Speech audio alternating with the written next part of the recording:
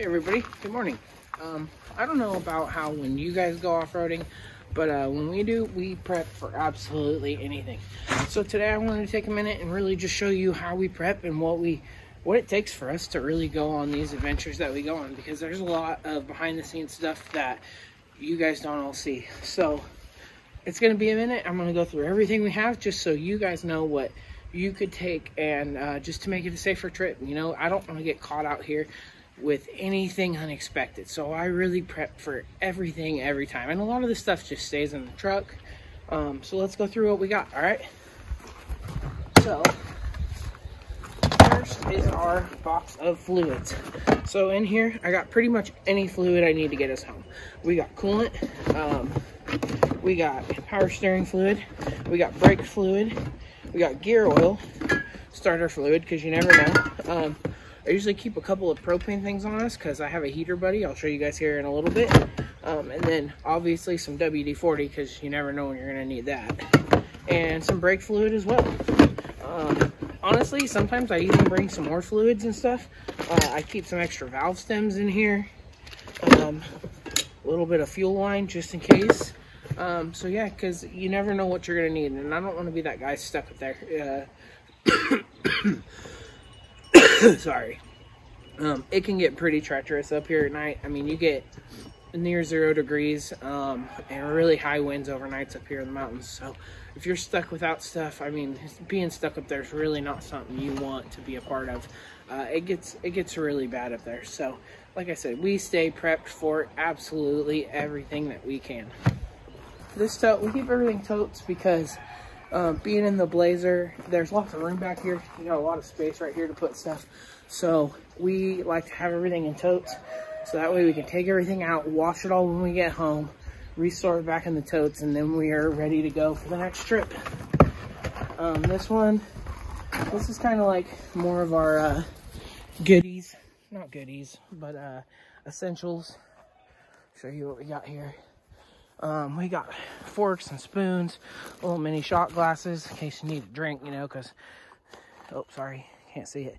So, got some toilet paper, forks and spoons, some shot glasses, um, all of our snow clothes is in here, extra blankets, extra clothes for everybody. Um, we mostly go up in the snow, so you get soaked and you just want to be warm on the way home. There's just, you get so cold when you're fully soaked from snow. Um, snow clothes or not, you know. Sometimes it soaks through, and if you got to lay in the snow to work for a couple hours, you you know you're gonna you're gonna be wet. So change your clothes, all that good stuff. Sorry about the little glare here. Uh, there's like a glare right here. Sun's starting to come up finally. So next on our list, we got tools. Um, I will never go anywhere off road without my tool bags. That's just a me personally thing. You get up in the mountains, being up there camping overnight is super cool. However, what you don't want to do is get stuck camping when you're not expecting to be camping. So I have a full tool bag set up. Um, it's just the stuff that we need to get ourselves home. So I, I like my impacts. I have a half inch drive, all tall max stuff. So I have impact, drill, um, 3 8 is 3 8 impact gun quarter inch impact gun. And then also a 3 8 electric ratchet. Uh, this, this stuff is, obviously you don't need all this fancy stuff. Um, but when I'm up there, it's cold. So I want to get the job done as quick as possible and I want to get back on the road. Either back wheeling or back on my way home if I break, you know, and it's getting close to nighttime and we can't afford to be up there all night. That's, you know, I want to have this thing fixed as quick as possible um, so that we can get back on the trail and enjoy our day or get back night home at night safely. Uh, so there's that. You know, I got my pneumatic tools. Also, um, just a nice quarter inch drive uh, bit set because you never know what you're going to need. Also, I have socket trays. Um, I have 3 8 drive sockets. I also have a thing of half inch drive sockets in here, but they're kind of heavy, so I'm not going to pull them out right now. Um, these are double-ended mountain wrenches, so you can have 10 different sizes and only have five wrenches. Plus, they have a lot of leverage, so I use the heck out of these. Also, flashlights. I have a charger built into the truck. Um, flashlights is definitely a big thing, especially if you're going to be out there at night. Also, we do have rock lights on the truck, so right here, Um, there's lights up in here on all four corners, so if we are doing a tire repair or something on the trail, you can click the rock lights on, you can see good there. Also, you want to bring some good pliers. Um, these are cutters, some nice pliers, um, some wire crimpers, just in case you got to do some wire repair on the trail for you or a buddy, you never know. And um, some Knipex pliers too, for if you really need some big leverage. These are my big universal ones, so if I need to get something big, or honestly, if I even need to like break a tree branch or something off the trail, I got this. Um, just a couple ratchets and then some more of those mountain wrenches. I have five in here so I can cover pretty much all my wrench sizes with just five wrenches.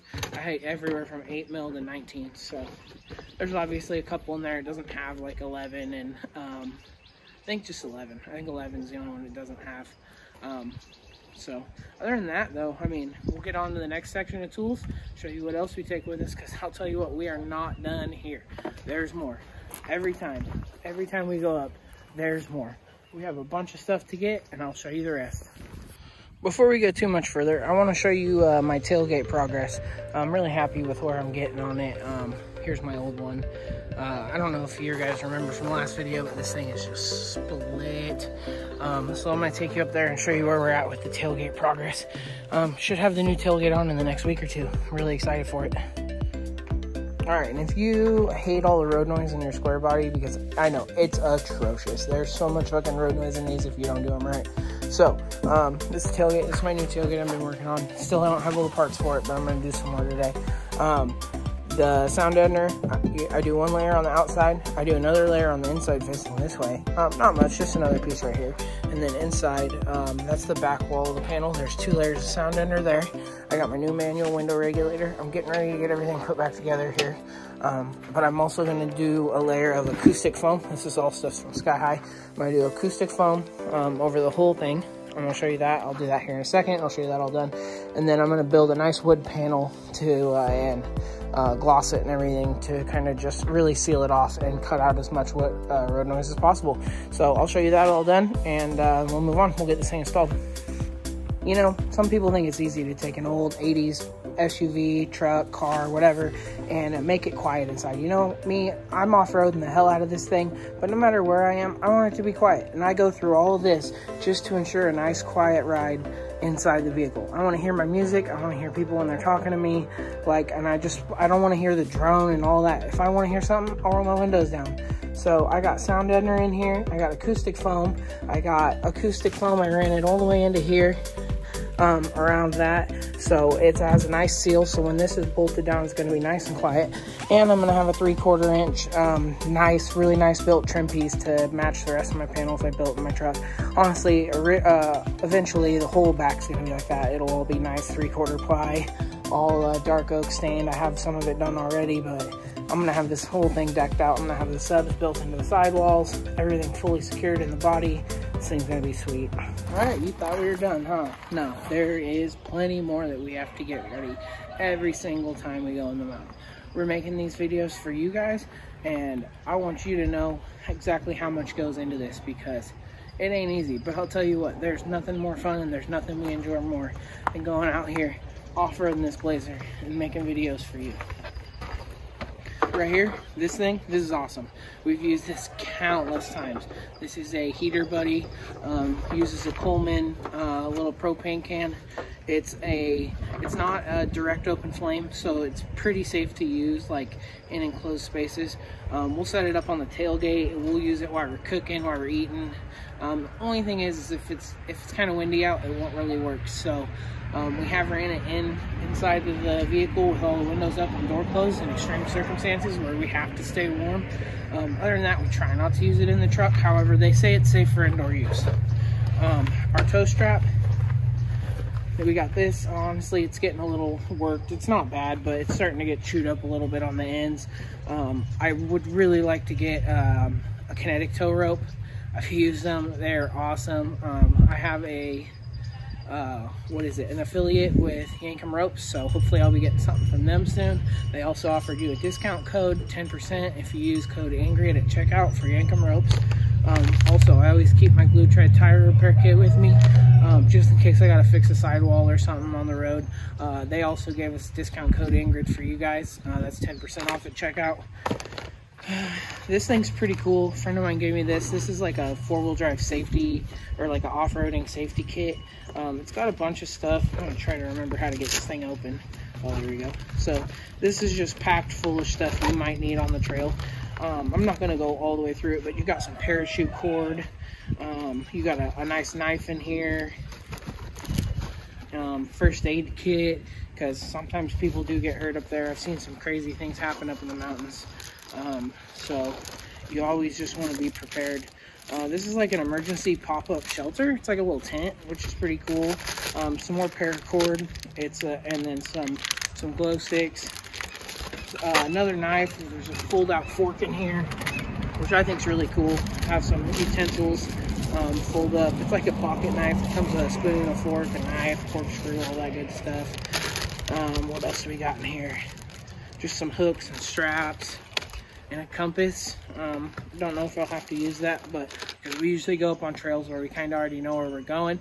However, you get stuck up there and you don't know where you're going, you might need to have a compass. So it's nice that it's in here. Um, we haven't had to use this yet, thankfully, um, but it's a really cool thing to have. My friends gave me that for Christmas one year. I uh, really appreciate them for that. That was awesome. Um, awesome gift. And then what else do we got? Only other thing we really take is uh, the gimbal. You know, I don't know if all you know what these are, but use this for filming. Keeps everything level. Um, change it, access, all that stuff. So this is really cool for getting some cool shots. Uh, I use this every time we go up off-roading for footage and all that. Um, oh, I guess there is still a couple more things left we got. Um, haven't got everything yet. Um, over here, also, every single time. This goes with me. That's my high lift. This thing's been through hell. I've got this thing from Harbor Freight. I've used it countless times over the last five years. Uh, it takes a beat. Just keep the the ratchet points all right here. Keep these ratchet points all lubed up in WD-40. Then these things will work great forever. And then also, I want to make sure you keep a shovel.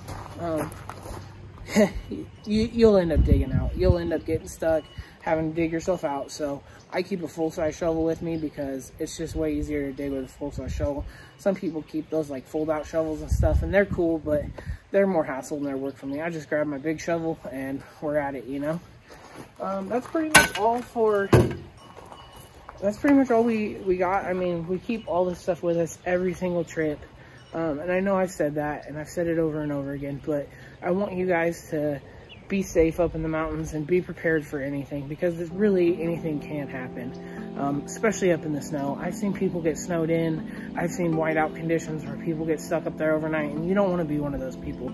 You don't want to be one of those people having to call search and rescue to come save you off the top of the mountain with a snowcat in the middle of the night. Um, so just stay safe out there, people, and let's go off-roading. Good morning, everybody. Um, I just want to show you a couple things we got going on, a couple of updates real quick. I'm trying to uh, beat the storm, trying to get my new tailgate on this morning. Um, also, I got some 42s on here now. I got rid of the fun countries. Um, I just needed some money, so I had these IROKs laying around. They're not even the best tread, but they'll get me through the winter and through some summer wheeling. I'll try to get some new tires this summer, but this is how it looks on 42s. I've never had 42s on. Honestly, I actually built it for 42s and just, I've had three sets of 40s and two sets of 44s on this. Never had 42s. I still got to mount the last tire, but. So if you have problems with uh, popping beads on your off roads, um, somebody showed me this and I think it's super cool. Tried it before. Um, basically, you do a couple wraps of tape around the inner safety bead, making a bigger lip right here and that allows for the tire to grab a little better. When you air down at low pressure, it doesn't pop the bead off. So I'll show you that I actually put it on these wheels. I'll also show you uh, setting up the tire on the wheel, and then I'll show you off-roading it as well, just to show you that it works.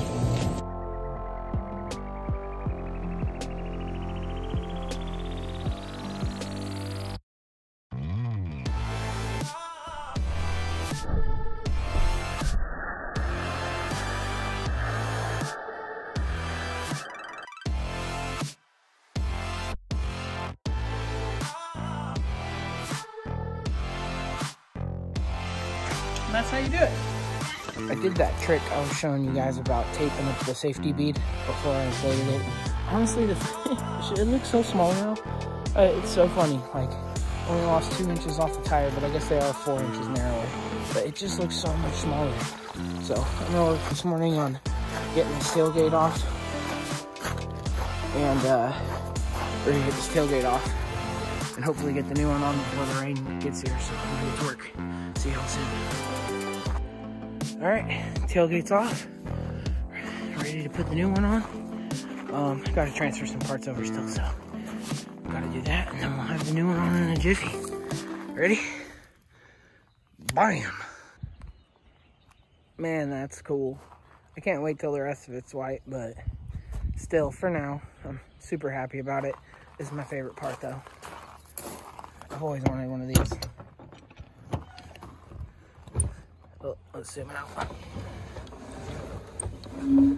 Yeah, fuck yeah, that's awesome. I love that. And then when you lock it, it uh, unlocks the clutch inside here, so it'll just spin. But I'm gonna roll it all up because we got a big storm coming. It's just about here. They said uh, 12 feet of snow up in Tahoe. We're only about an hour from there, so hopefully we'll get some snow up in the mountains this weekend. Next weekend we'll go up for another trip. Thanks for uh, watching, everybody.